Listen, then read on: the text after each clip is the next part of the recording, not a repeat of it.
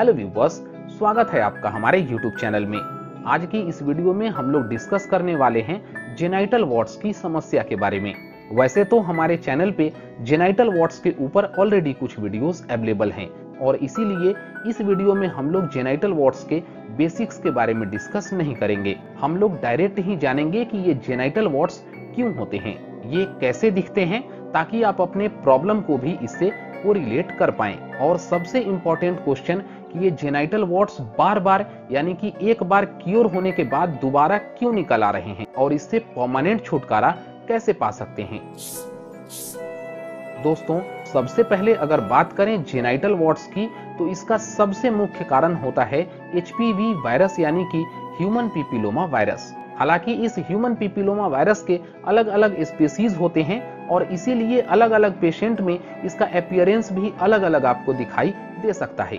तो इसीलिए आइए अब हम जान लेते हैं कि आखिर ये जेनाइटल वॉट्स कैसा दिखता है।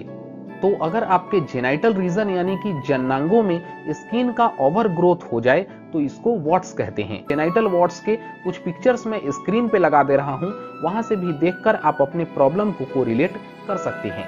हालाँकि यहाँ पे मैं आपको एक चीज़ और क्लियर कर दूँ कि जेनाइटल लिचन प्लेनस या फिर कुछ जेनाइटल इन्फेक्शन होते हैं, वो भी कई बार जेनाइटल वॉट्स की तरह दिखते हैं। इसलिए इसकी प्रॉपर डायग्नोसिस के लिए सबसे बेस्ट है किसी अच्छे डर्मेटोलॉजिस्ट से दिखाकर ही किसी मेडिसिन का सेवन करें। इसके अलावा आप लोग हमें भी इंस्टाग्राम पे मैसेजेज करके कॉन्टेक्ट कर सकते हैं। अब चलते हैं अगले क्वेश्चन की ओर और, और आप में से काफ़ी व्यूअर्स पूछते हैं कि सर कुछ मेडिसिन का सेवन करने के बाद ये जेनाइटल वॉट्स की ओर हो गया था लेकिन ये बार बार क्यों निकल आ रही है? तो मैं आपको बता दूँ कि मार्केट में कुछ ऐसे भी ट्रीटमेंट के फॉर्म होते हैं, जैसे कि लेजर थेरेपी होती है, जिसमें इन वॉट्स को लेजर के ज़रिए निकाला जाता है। इसके अलावा कुछ फ्लूड और कुछ स्ट्रॉइडल क्रीम आती है, जो इन वॉट्स को जलाकर निकाल देती है। लेकिन जैसा कि इस वीडियो में हमने बताया कि इसका मेन रीजन होता है एचपीवी, यानी कि ह्यूमन पीपिलोमा वायरस। और अगर आपके बॉडी का इम्यूनिटी लो है तो ये ह्यूमन पीपिलोमा वायरस की वजह से ये वॉट्स दोबारा निकल सकते हैं। और इसीलिए हम लोग जेनाइटल वॉट्स के पेशेंट को लगाने वाली मेडिसिन साथ में खाने वाली मेडिसिन भी देते हैं, जिससे उनके बॉडी का एचपीवी का इन्फेक्शन क्योर होता है। इसके अलावा मैक्सिमम पेशेंट्स में जेनाइटल वॉट्स एसटीडीज यानी कि सेक्सुअली ट्रांसमिटेड होते हैं। तो ऐसे में अगर आप अपना ट्रीटमेंट करा रहे हैं, लेकिन अगर आपके पार्टनर का ट्रीटमेंट नहीं हुआ है और वो एचपीवी से इन्फेक्टेड है तो उनसे सेक्सुअल रिलेशन बनाने पे दोबारा से ये इन्फेक्शन आप में ट्रांसमिट हो जाती है।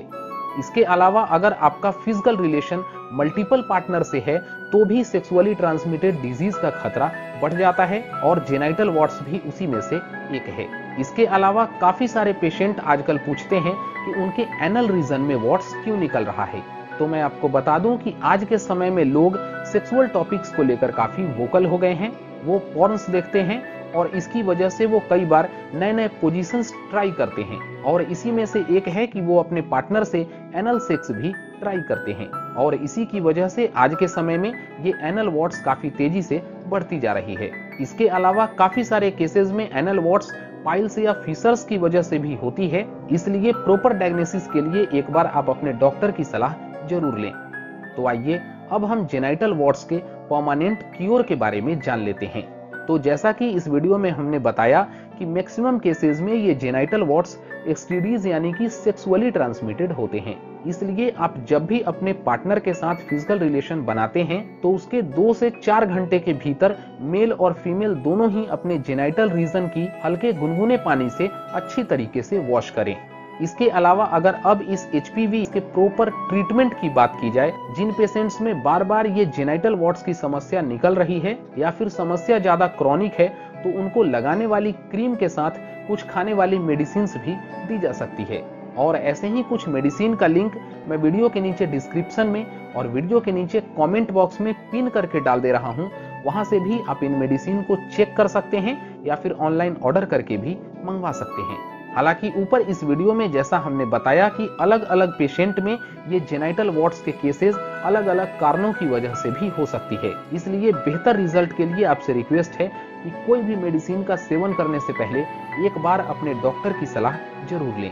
और ऐसे ही हेल्थ से रिलेटेड वीडियोस पाने के लिए हमारे चैनल को सब्सक्राइब करके बेल के आइकन पे भी प्रेस कर लें।